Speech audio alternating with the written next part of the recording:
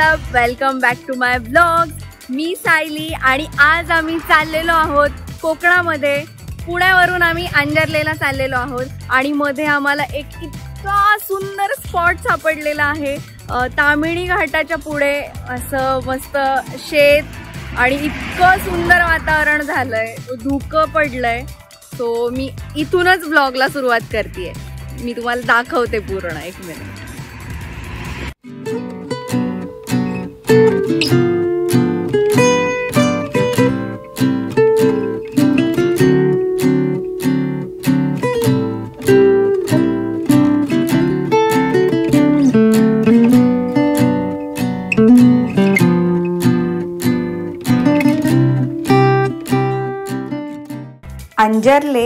रत्नागिरी जिल्ह्यातील दापोली तालुक्यातील गाव आहे.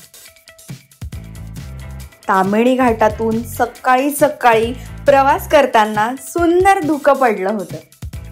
मुळशी लेक सुद्धा दिसला. पुण्यावरून अंजरले साधारण दोनशे किलोमीटरवर आहे आणि जायला आम्हाला सहा तास लागले.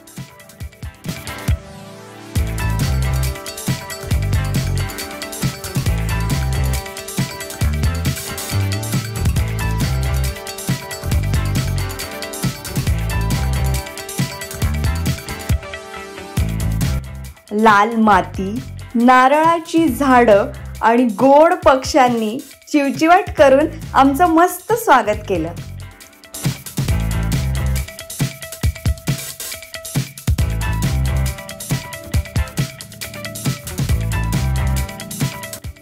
आणि ऑफकोर्स चहा.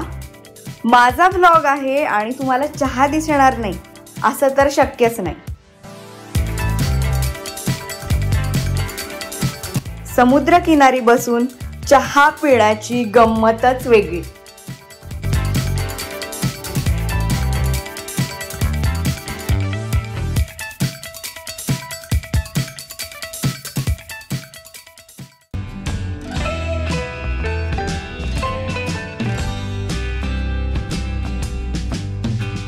अंजर्लेचा बीच हा रत्नागिरी जिल्ह्यातला सगळ्यात स्वच्छ आणि अजिबात प्रदूषित नसलेला बीच आहे.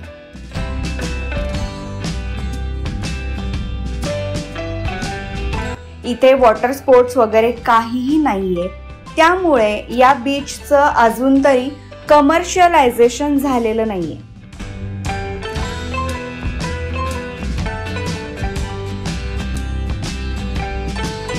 समोर अथांग पसरलेला आरबी समुद्र खारे वारे आणि सूर्यास्त. आहा हा अशा नैसर्गिक समृद्धीच्या ठिकाणी स्वतःला अगदी हरवून जावं.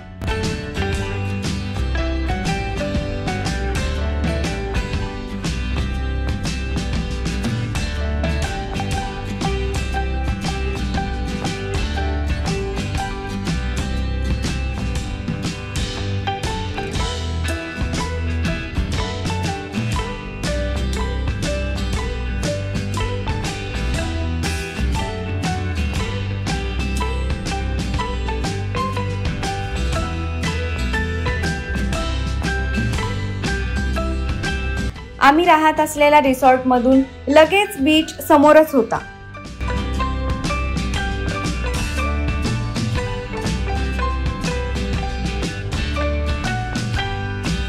संध्याकाळी सनसेट झाल्यानंतर गरमागरम भजी खाऊन समुद्रकिनारी शांतपणे बसून राहून आम्ही दिवस संपवला.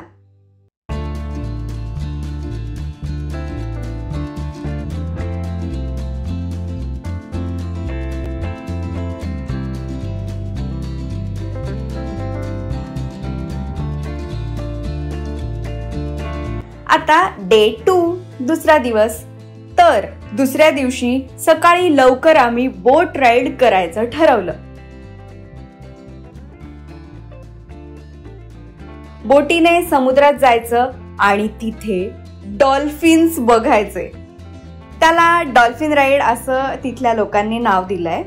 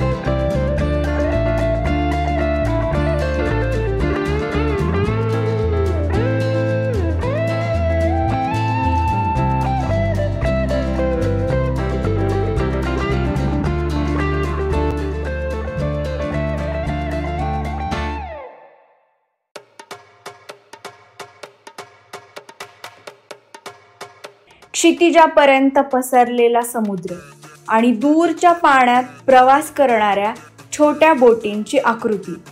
हा अनुभव नक्कीच घेण्यासारखा आहे.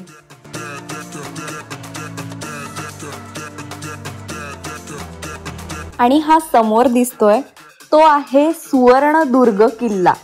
तुम्ही त्या किल्ल्यावरती सुद्धा जाऊ शकता.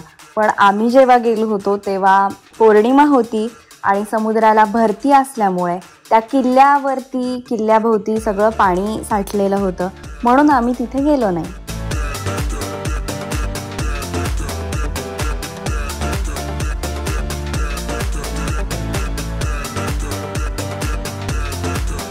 डॉल्फिन्स दिसतीलच याची काही गॅरंटी नाही. दिसले तर अजूनच उत्तम. आणि आम्हाला डॉल्फिन्स दिसले.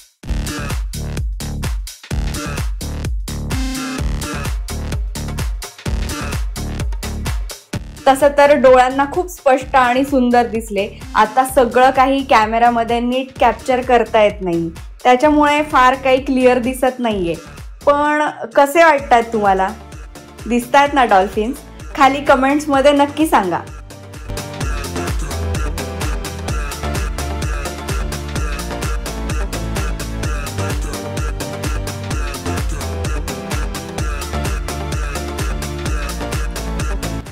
डॉल्फिन राईड झाल्यानंतर मस्त पोहे आणि मिसळ असा नाश्ता केला आम्ही आणि दुपारभर समुद्रात खेळण्याचा कार्यक्रम केला.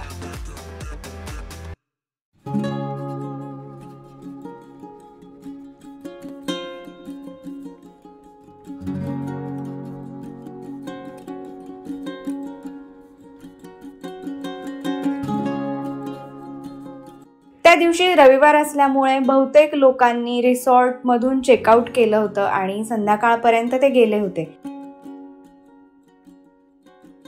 आणि बीचवर सुद्धा कोणीच नव्हतं. अगदी प्रायव्हेट बीच असल्यासारखं वाटत होतं.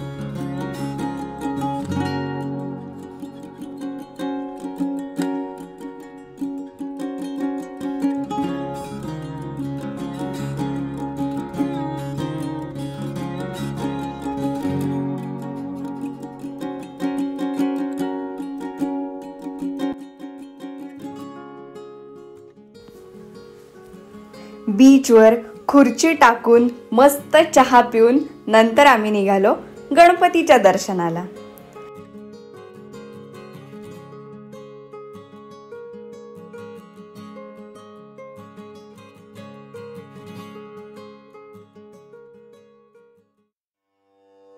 आंजर्लेमध्ये कड्यावरचा गणपती खूप प्रसिद्ध आहे.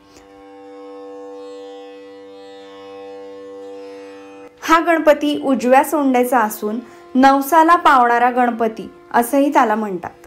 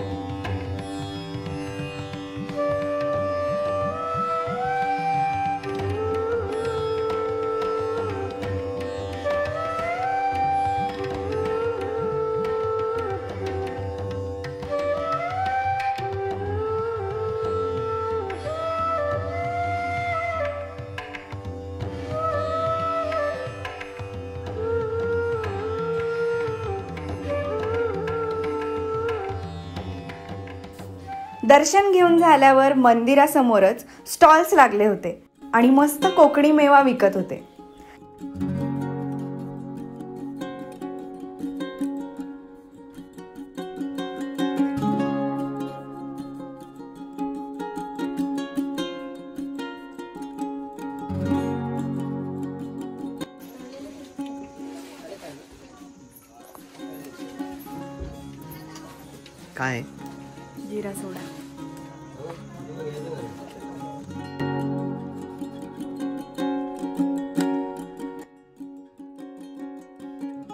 आमसुलं काजू आंबापोळी खाराच्या मिरच्या पोह्याचे मिरगुंड फणसाचे वेफर्स वेगवेगळी लोणची आळीवाचे लाडू मालवणी मसाले कोकम जांभूळ आवळा सरबत आणि सोडा असं बरंच काही बघून आणि खरेदी करून झाल्यावर आम्ही रिसॉर्टमध्ये परतलो.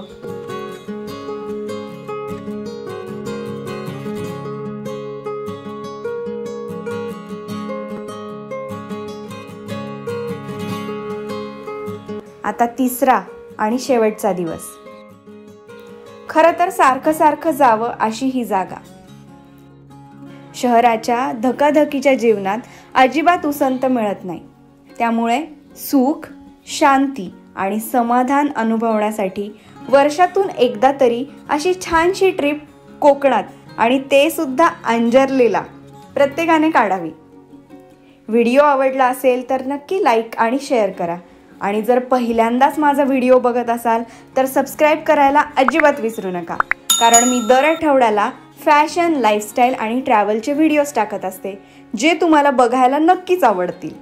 आणि हो मला फेसबुक आणि इंस्टाग्रामवर सुद्धा फॉलो करा कारण मी तिकडे पण रोज नवीन नवीन कॉन्टेंट शेअर करत असते.